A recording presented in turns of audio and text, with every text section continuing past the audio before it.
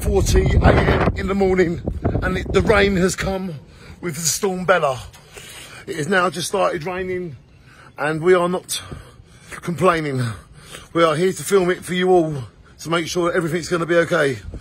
This is Danny Sloggett here on the streets of Jaywick filming Storm Bella for you all around the world to watch. Stay safe. Merry Christmas everyone.